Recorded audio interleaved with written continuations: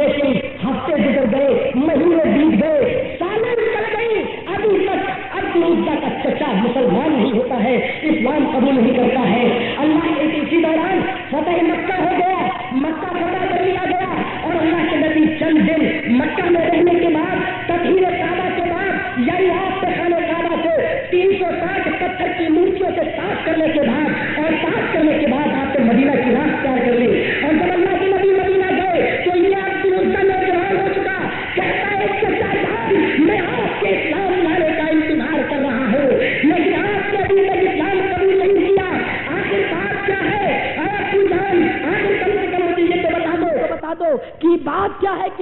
तक इस्लाम की दौलत से माला माल नहीं हुए। बहुत से लोग इस्लाम कबूल कर रहे हैं। चचा ने कहा, मैं इस्लाम कबूल नहीं करूँगा। अब्दुल उज्जा बोला चचा, मैं आपके जो है इस्लाम के इंतज़ार में था। अगर आप इस्लाम कबूल नहीं करते तो मैं इस्लाम कबूल कर रहा हूँ। चचा ने कहा कि देख तेरा बाप मर गया। तेरी माँ जो है खाना खिलाने वाली नहीं थी, तुझे परवरिश करने वाली नहीं थी। लेकिन आए अब्दुल उज्जा तेरी परवरिश हमने की है। आए अब्दुल उज्जा तुझे कपड़ा हमने दिया है। आए अब्दुल उज्जा तुझे हमने पाला है। आए अब्दुल उज्जा तेरे पैरों में जो जूता है, वो मेरा दिया हुआ है। आए अब्दुल उज्जा अगर तू इस्लाम कबूल करता है तो सारी चीज़ें तुझसे छीन ली जाएँगी। आए अब्दुल तेरे बदन पे जूता भी नहीं होगा, तेरे जिस्म पे ये पैजामा भी नहीं होगा, तेरे बदन बदन पे कुर्ता भी नहीं होगा, तेरे सर पे ये रुमाल भी नहीं होगा। आए अब्दुल उज्जा कपड़े का एक धागा और एक तार भी तेरे जिस्म पर नहीं होगा। बरहना होगा मादरदाद नंगा। अब्दुल उज्जा ने थोड़ी देर के लिए सोचा, जरा मजीद मुताले के लिए देखिए, इंसानियत मौत के दरवाजे पर मौलाना अबुल कलाम आज़ाद की लिखी हुई किताब है। जरा गौर कीजिए, अब्दुल उज्जा क्या कह रहा है? थोड़ी देर के लिए इसके सामने भेड़ और बकरी की शक्ल आती है कि मेरे चचा मेरे जिसम से ये सारे कपड़े उतरवा लेंगे। मैं तो एक भेड़ बकरी की तरह बन के रह जाऊँगा। मैं तो वो दुम्बा हो जाऊँगा, जिसको इब्राहिम अलैहिस्सलाम जैसे नबी ने जिबा कर दिया और उसकी ज़िंदगी कुछ नहीं, एक नंगा दुबा और इब्राहिम ने जिबा कर दिया थोड़ी देर के लिए ये नक्शा अब्दुल उज्जा के सामने आया, लेकिन ये वो अब्दुल उज्जा कहता है कि मरने के बाद भी तो वही हालत होगी और ज़िंदगी में भी मेरी वही हालत हो जाए। कोई परवाह नहीं, आए चचा जान मैं इस्लाम कबूल करने के लिए तैयार हूँ। अब जो भी आप मुझसे लेना चाहे, शौक से ले लीजिए। मेरी माँ और बहनों, आज ऐसी औलाद हमारी कोख से क्यों नहीं पैदा हो रही है? आज ऐसी नस्ल हमारी कोख से क्यों नहीं जन्म लेती है? आज हमारी माँ और बहनों के पेट से ऐसी औलादे क्यों नहीं पैदा हो रही हैं? आज फ़िल्म एक्टर के पेटों से पैदा हो, लंबी छुट्टियाँ रखने वाले, हाथी की सूर की तरह जो लटके, वो औलादें उनके जिस्म से, उनके कोख से पैदा हो रही हैं। फित्ती में फसादी औलादें उनके जिस्म से पैदा हो, जब चाहे पूरा शहर बर्बाद कर दें।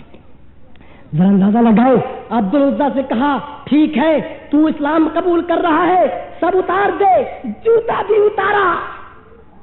पैजामा भी उतारा, कुर्ता भी उतारा। सर पर रुमाल भी नहीं। वाह, कायनात की रखी कसम। ये तालीम अगर है तो नबी की तालीम का असर इमाम कायनात की तालीम का असर। हमने इमाम कायनात को समझा नहीं है। जब हमने उसको आखिरी नबी माना है तो फिर हमने उसकी खत्म नबूवत का ऐलान नहीं किया है। हम ही जानते हैं आखिरी नबी है, लेकिन अपने तमाम फैसले हमने उससे कराए नहीं है।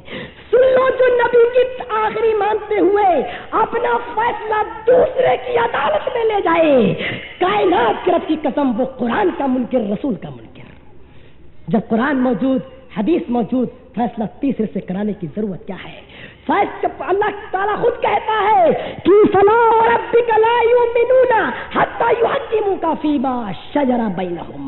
रसूल, तेरे रब की कसम, ये लोग उस वक्त तक मुसलमान नहीं होंगे, जब तक कि वो तेरे फैसले को बिना चोर चिरा न मान लें। किसी बुज़ुर्ग का नाम नहीं लिया, सोचो मुसलमानों। पूरा कुरान पढ़ डालो, सोचो, माता तुम रसूल रसूल तुम्हें जो दे उसको ले दो। वमा नहाय तुम्हारू पंत मेरा नबी, तुम्हें जिससे रोके उससे रुक जाओ।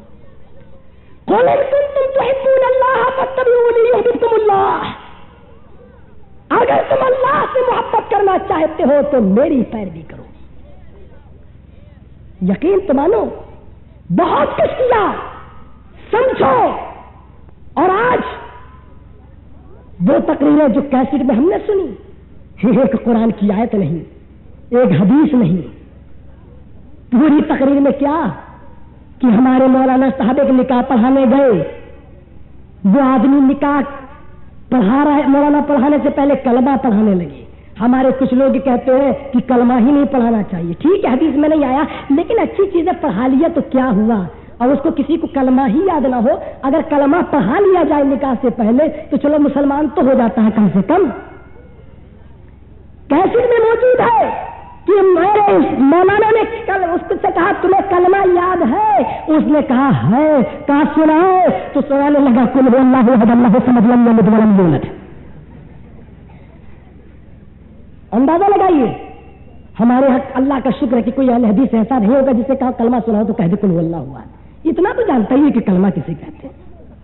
हाँ तो हमें विदतियों में एक दफे ज़रूर मिला था बरेली के अंदर। उससे मैंने कहा कि रिक्शे पर बैठते हुए कि भाई साहब, नमाज़ पढ़ लेने तो कसर है तो कहने लगा हमने कहा, आप भी पढ़ लीजिए, आप भी तो सुन्नत जमात है। बोला, बस मौली साहब, यही एक कमी है, बखिया, मेरा पूरा इस्लाम सही है। और आगे चले, हमने कहा अच्छा भाई साहब, आपके रोज़े तो पूरे आ रहे होंगे। कि बस मौली साहब, यही एक कमी और है, बस पूरा इस्लाम मेरा सही है। और आगे बढ़ा। मैंने कहा भाई साहब, कम से कम कलमा ही सुना दो, लोग कैसा बात करो मेरी जगह आ गई, मेरी मंजिल आ गई। हमने कहा, कलमा तो कम से कम सुना दो। तो कहता है, बस मेरी जब कलमा ही तो याद नहीं है, बच्चा, पूरा इस्लाम मेरा बिल्कुल सही है। वो हमें दूसरे मसलकों में मिलते हैं, लेकिन अल्लाह का शुक्र हमारे मसलक में ऐसा कोई नहीं कि जिसको कलमा याद ना हो, और जिसको कलमा याद ना हो, वो अहल हदीस नहीं। क्या है अल्लाह की और रसूल की तो मोहब्बत का दावा करो, कलमा तक याद ना हो। वो अहल हदीस नहीं है उसको अहल हदीस मानते ही नहीं है। वो किसी और मसलक का दावेदार हो सकता है। इतना सुन लो, बात आगे निकल रही है। तो मैं ये कह रहा था कि अब मौलाना उसमें बोले कि आप बताइए कि उसको कलमा याद था कुल वल्ला सुनाने लगा। तो अब ऐसे मौके पर निकाह से पहले उसको कलमा पढ़ा दो तो क्या है? सही बात है, बहुत अच्छी बात है। निकाह सुन्नत है। सुन्नत अदा कराते वक्त और सुन्नत निकाह पढ़ाते वक्त तुम मुसलमान कर रहे हो। मैंने कहा, फजर की नमाज़ या जहर असर की नमाज़ तो फ़र्ज़ है। ये पाँच वक्त की नमाज़ पढ़ाते वक्त कोई कलमा ही याद नहीं किया जाता। पता नहीं हो वो कलमे की जगह कुल वल्ला याद किया जाता हो। कम से कम फ़र्ज़ नमाज़ पढ़ाते वक्त भी तो कलमा पढ़ा दिया करो, मुसलमान कर लिया करो। फ़र्ज़ अदा हो रही है, बगैर कलमे की और सुन्नत अदा हो रहा है। कलमे के साथ तेरे बाप की हदीस है। बिल्कुल फैसला करके बताए किसी के बाप दादा का इस्लाम है, कि जिसको जब चाहे मोड़ दे शरीयत में जो है, उसको मारा जाएगा। शरीयत में जो नहीं है, उसको बिल्कुल नहीं मारा जाएगा। दिल के अंदर दिल के अंदर। बात बहुत लंबी निकल गई। हम अर्ज़ कर रहा था कि अब्दुल्ला बजा दीन। नंगा है बढ़ाना है। कपड़ा तक नहीं, नबी की तालीम में देखो इसको क्या बनाया है। अपने घर से गया, माँ के घर में घुसा। माँ ने बेटे को देखा पढ़ाना है। माँ ने बेटे को देखा, नंगा है। कहा अब्दुल्ला, ये क्या हाल है? कहा मेरी माँ, अब मैं मोमिन और मुवाहिद हूँ। अरे माँ, अब मैं मोमिन हूँ, मुवाहिद हूँ। हाँ जूता छीन लिया गया। फ्रिज नहीं है एयर कंडीशन नहीं है सोफा सेट नहीं है, बिस्तर नहीं है, कोई चीज़ नहीं है, जो थी वो भी छीन ले गई। नंगा है, बढ़ना है, जिसम पर एक तार नहीं है। मोमिन का तस्वुर आ रहा है। अरे मेरी माँ, अब मैं मोमिन और मुवाहिद हूँ। माँ ने कहा बेटे, क्या चाहते हो? क्या माँ बस, इतना चाहता हूँ कि मुझे सतर छुपाने के लिए कुछ मिल जाए। ताकि मैं मस्जिद नबी में जाकर इमाम कायनात का दीदार कर सकूँ। जरा गौर कीजिए माँ ने कंबल दिया, माँ के सामने कंबल के दो टुकड़े किए। एक को शर्मगाह से लपेटा, दूसरे टुकड़े को अपने कांधे पर डाला। ये अब बिरुद्दा रात की तारीखी में चल रहा है। मस्जिद नबी की तरफ़ जा रहा है। चिड़िया हमद अल्लाह की हमद बयान करने लगी। यानी सुबह का मंजर नज़र आ रहा है। अभी फजर की जमात नहीं हुई और अब दूसरा मस्जिद नबी के एक तरफ़ दीवार से चिपक कर खड़ा हो गया। क्यों? इमाम कायनात का इंतज़ार करने लगा। कब अपने हुजरे से निकले और मैं अपनी फरियाद उसके सामने रखू। कपड़ा नहीं है। एक टाट एक कंबल आधा कमर से लिपटा और आता जिस टीवी पर है। लाओ किसी और बुज़ुर्ग की तालीम का यह असर किसी पर पड़ा हो जो आज तक जो गाते हैं और जिसका उन्नति बनने का दावेदार बने फिर रहे हैं। लाओ दोस्त और बुजुर्गो, जरा गौर कीजिए। आइए, सामने आइए। यही अब्दुल्ला भी दीवार के कोने से खड़ा है? और क्या कह, और अल्लाह के नबी आए? कहा, कौन? कहा, एक यतीम, एक मुसाफिर, एक लावारिस। अल्लाह के नबी, मैं हाजिर हूँ। कहा, तुम कौन हो? कहा मैं अब्दुल हुस्सा हूँ? किस लिए आए हो? कहा ईमान कबूल करने के लिए आए हैं? कहा इस हाल में आए हो? पूरी स्टोरी सुनाई, पूरी कहानी सुनाई, पूरा वाक्य नकल कर दिया कि मेरे चचा ने सब कुछ छीन लिया। नबी आक्रम वो दिल दरिया दिली। वो मेहमान जिसका ताल्लुक अर्श वाले से है, जिसका ताल्लुक अर्श वाले से है, गौर करो मेरे दोस्त और बुजुर्गो, आज कहते हैं ये भी सही वो भी सही आज कहते चारों इमाम पर हक यहाँ ये बांधो, चाहे चाहिए बांधो, दोनों जायज़। चलो, चाहे तुमने यहाँ गलत तो नहीं कहा है। अल्लाह का शुक्र है कि सही तो कहा है। लेकिन सुन लो इसको हम और हमारे जैसे लोग तो कह सकते हैं। हम तो कह सकते हैं कि ये भी सही, वो भी सही। इसलिए कि हमारा, हम मासूम अबिल खता नहीं है। हम महबूब अबिल खता नहीं है। हमसे गुना हो सकते हैं। हमारे नज़रिए में हो सकता है, ये भी सही, वो भी सही। लेकिन कायनात की रब कसम, ये बात, ये भी सही, वो भी सही। वो नहीं कह सकता जिसका ताल्लुक अर्श वाले से हो। जिसका ताल्लुक अर्श वाले से हो, ये जुमला वो नहीं कह सकता। क्योंकि उसका ताल्लुक अल्लाह से है। अगर भूलता है तो अल्लाह बताता है। अगर गलती करता है तो अल्लाह टोकता है। और हमें फख्र है कि तेरे इमाम का नाम तो कुरान और सियासत्ता की किसी हदीस में नहीं। और हमें वो इमाम मिला, जिसका ज़िक्र करते हुए अल्लाह ने कहा है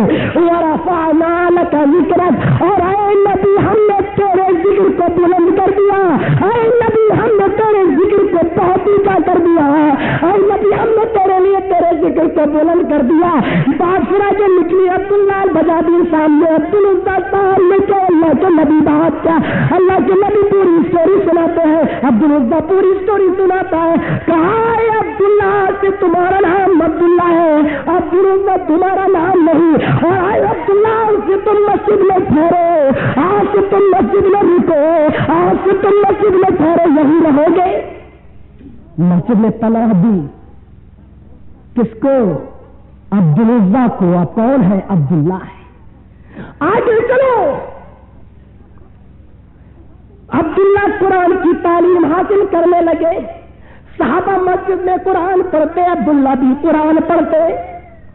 लेकिन अब्दुल्ला की आवाज़ थोड़ी बुलंद होती और मस्जिद नबी में थोड़े साहबाए जो नमाज़ पढ़ते हैं अब्दुल्ला ज़ोर से कुरान पढ़ता है, जिसकी बुलंद किरत की वजह से उन नमाजियों को खलल होता है। उमर फारूक ने कहा अमीर ने कहा, अरे अब्दुल्ला, कुरान ना इसका पढ़ा करो। नमाज़ पढ़ने वालों को खलल होती है। इमाम कायनात ने कहा, फातिमा की बात ने कहा, आयशा के शहर ने कहा मोहम्मद रसूलुल्लाह ने कहा, आए उमर इस आदमी से कुछ न कहो अब्दुल्ला से कुछ न कहो।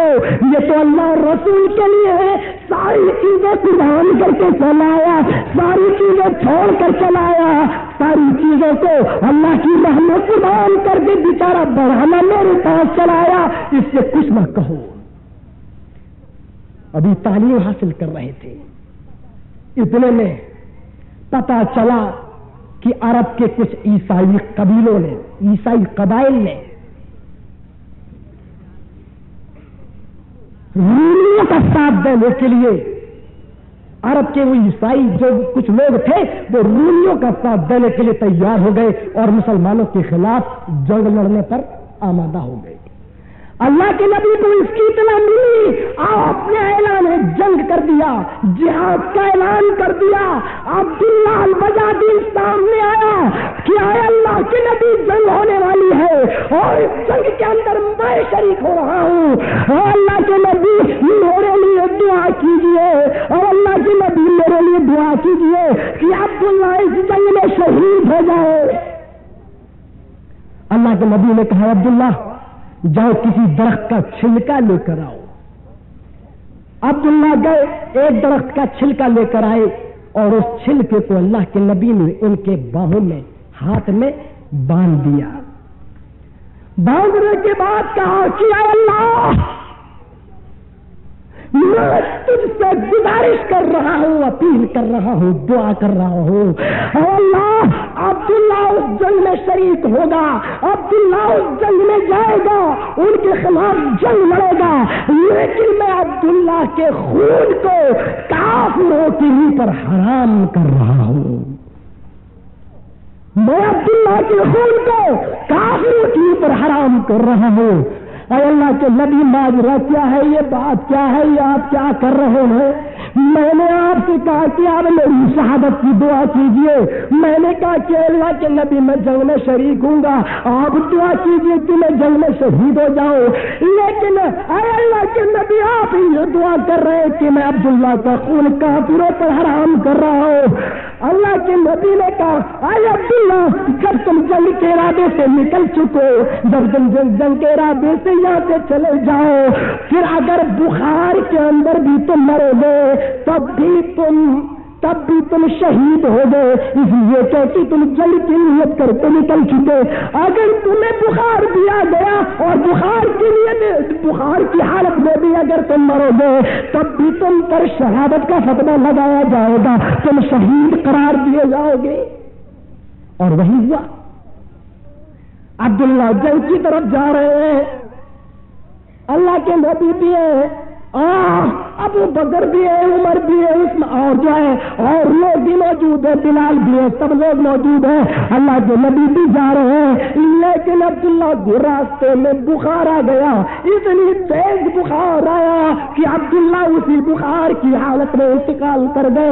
अब्दुल्ला का इंतकाल हो गया। नबी की आँखों से आँसू जारी हो गए। मोहम्मद अलैहि की आँखों से आँसू जारी हो गए। और जार की और मेरे नबी रोने लगे, इमाम कायनात रोने लगे, कहा, लोगो, जाओ इसके कफन दफन की तैयारी करो? अभी बकर है, उमर है, अल्लाह के नबी भी अल्लाह जाओ खबर खो दी गई उसकी खबर को खो दिया गया अल्लाह बना दी गई।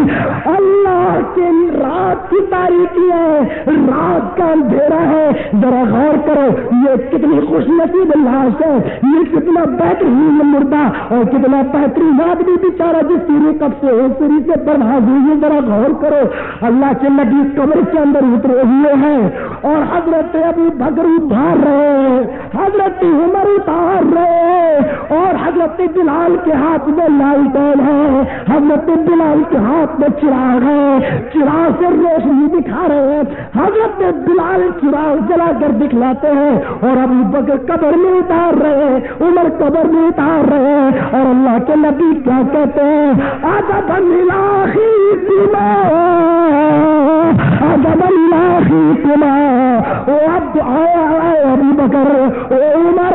अपने भाई को अदब के साथ कबर में उतारो। अदब से कबर में उतारो। एहतराम की कबर में उतारो। अदब के साथ कबर में उतारो। अल्लाह के नबी ने दफन किया। मिट्टी भी दी गई। मिट्टी डाल दी गई। अब्दुल्ला को कबर के अंदर दफन कर दिया गया। आप भी कबर के ऊपर कबर के पास खड़े और अल्लाह के नबी की नज़र आसमान की तरफ़ निगाह आसमान की तरफ़ गई और आपने ये जुमला फरमाया, आपने अपनी जबान से ये जुमला अदा किया। मोहम्मद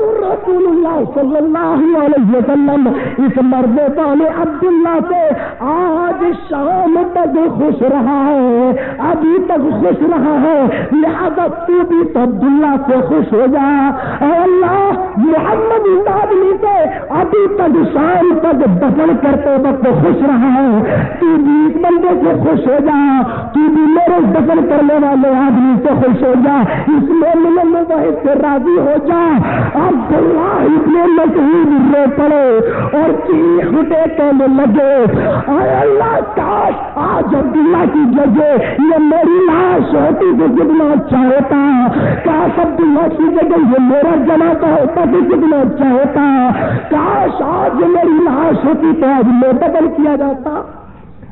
मुसलमानों, ये तालीम अगर कहीं मिलेगी तो नबी की तालीमत के अंदर। सीरत के अंदर रसूल की सीरत के अंदर।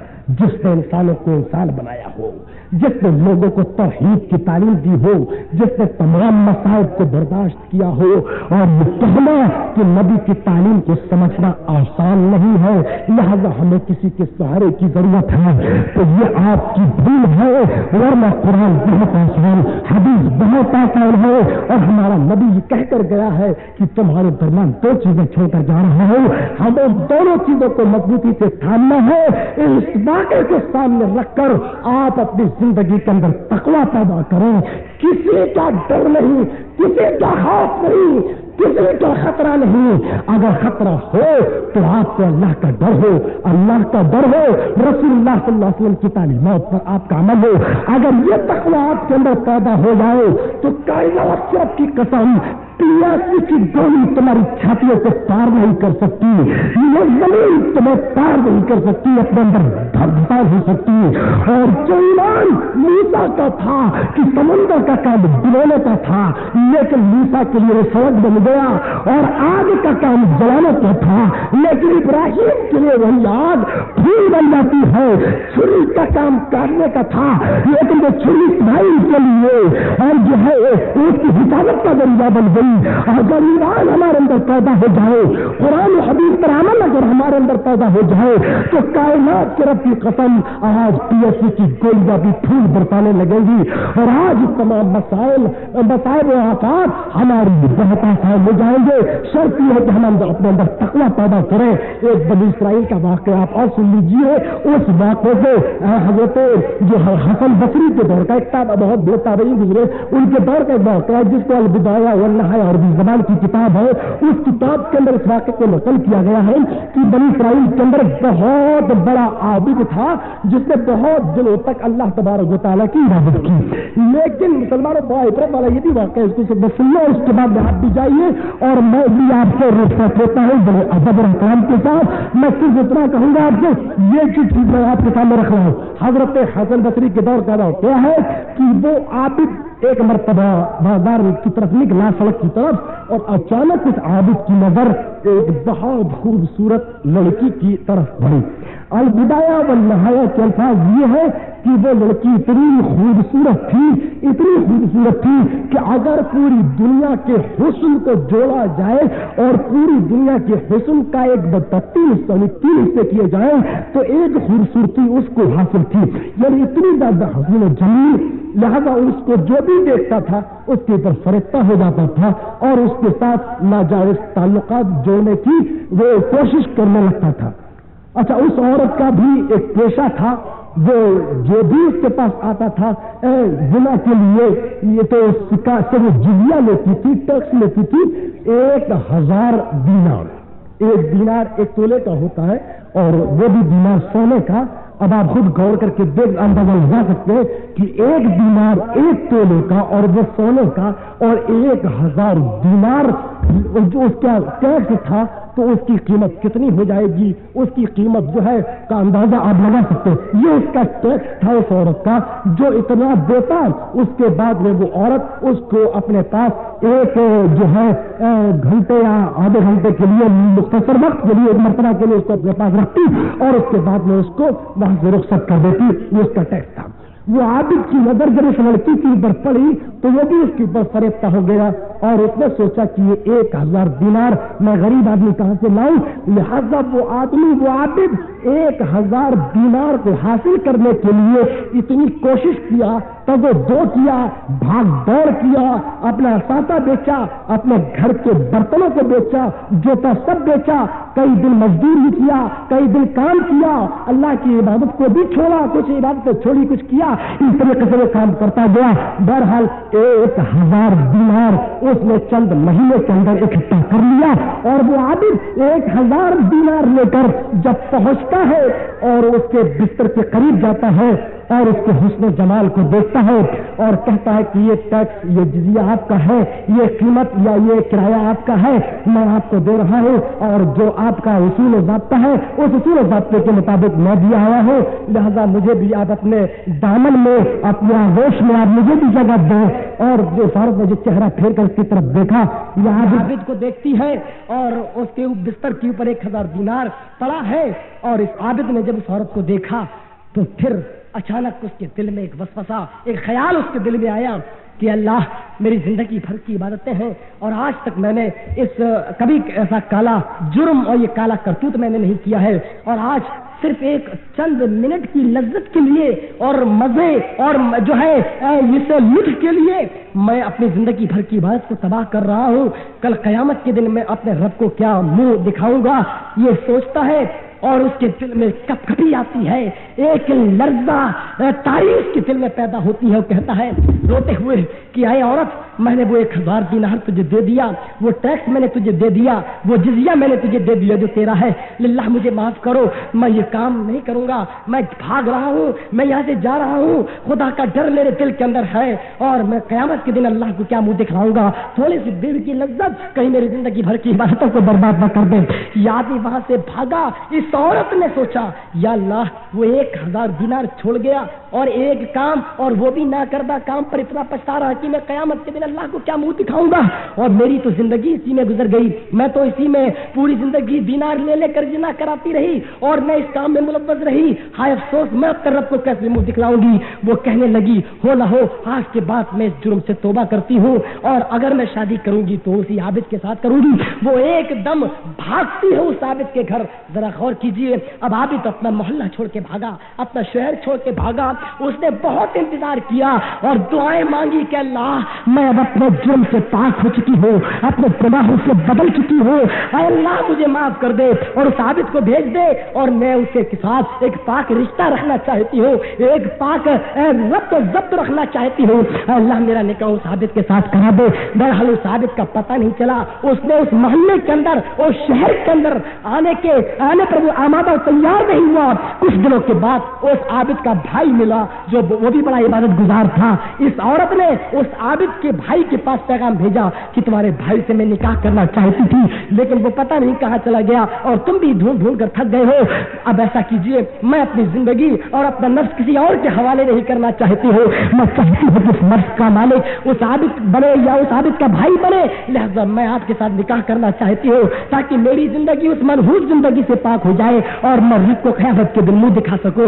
मुसलमानों, एक आबिद का अमल बड़ी से बड़ी बदकार औरत के इरादे को बदल सकता है और एक फाहिशा की ईमान के अंदर ताजगी पैदा कर सकता है और उसके इरादे को बदल सकता है। वो ईमान आप अपने अंदर पैदा कीजिए, वो जज्बा आप अपने अंदर पैदा कीजिए वो उसूल जबते और कानून आप अपने अंदर पैदा कीजिए, वो हौसला आप अपने अंदर पैदा कीजिए और ये हौसला, ये ईमान आपके दिल में उस वक्त होगा जब आप अल्लाह का कुरान पढ़ेंगे मोहम्मद रसूलुल्लाह का फरमान पढ़ेंगे सहाबा की ज़िंदगी का मुताला करेंगे, नबी अकरम की ज़िंदगी पर अमल करने वाले साहबा की सीरत का मुताला करेंगे तो आपके अंदर ईमान पैदा होगा, उम्मीद के साथ मैं आपसे रुख्सत होता हूँ कि इंशाअल्लाह आप जो है इसको अमली जामा पहनाने की कोशिश करेंगे, और आप सही मानों में कुरान हदीस की इतना करेंगे, और मेरे हदीस भाइयों, ये दावा, ये आलम, ये हौसला अपने अंदर पैदा कर लो कि जब तक हम रहेंगे, रब के कुरान की बात करेंगे या मुस्तफ़ा के फरमान की बात करेंगे और इन दोनों चीज़ों को अपना कानून बनाएँगे और हम दुआ करते हैं, बारे अल्लाह कि अल्लाह, हमें मरते दम तक सिर्फ़ अल्लाह और रसूल की बातों पर अमल करने वाला और इन दोनों चीज़ों को हमारे लिए कानून बना दो। या मैं अमल मजल बना दिन दावा अलहमदिल्ला